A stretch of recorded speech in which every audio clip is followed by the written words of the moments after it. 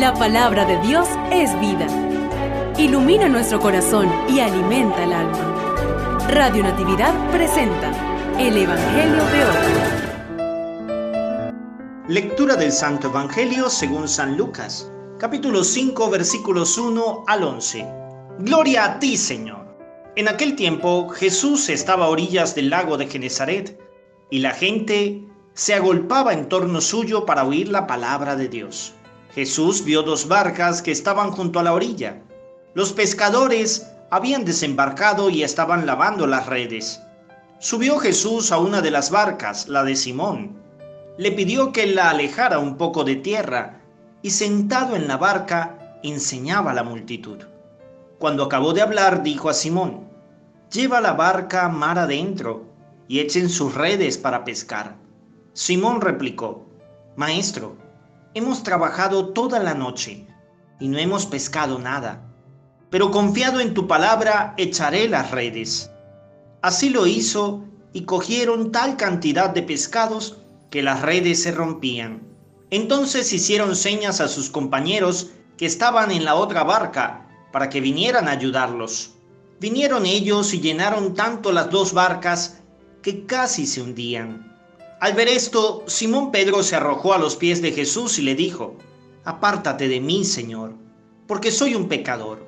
Porque tanto él como sus compañeros estaban llenos de asombro al ver la pesca que habían conseguido.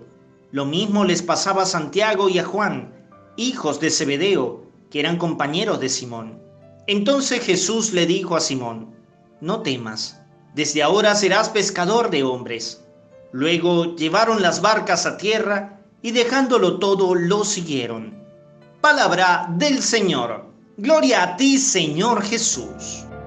Un saludo de paz y bien para todos aquellos que nos escuchan a través de Radio Natividad, la emisora católica del Táchira, donde somos parte de la buena noticia de Jesús en la vida de nuestra región tachirense.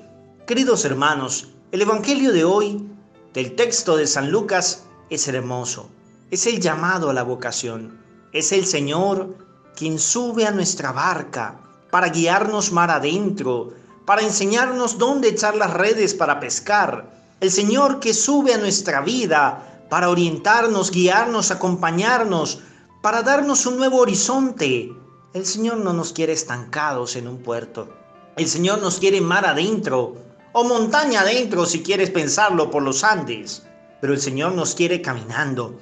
Como dice el mismo Papa Francisco, prefiero una iglesia accidentada que una iglesia enferma. Eso quiere el Señor. Pedro tiene miedo, miedo al cambio, miedo a todo esto que el Señor le propone y, tal vez sale con algo muy sincero, pero que a la final es una excusa. Apártate de mí, Señor, porque soy un pecador. Y Jesús le dice que eso es lo que ha atraído a Jesús a su barca, que es un pecador y quiere transformarlo en pescador. El diablo persigue al pecador y Jesús lo sigue. El diablo quiere que el pecador siga siendo pecador. Jesús quiere que el pecador sea pescador, que cambie de conducta y viva, viva en las manos del Señor. ¿Y tú qué eres? ¿Pecador o pescador?